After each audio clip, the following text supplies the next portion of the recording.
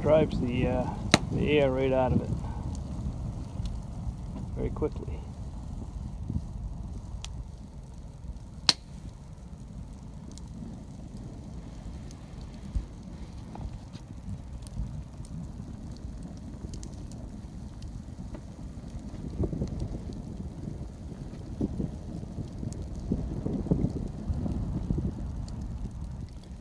The heat right into it.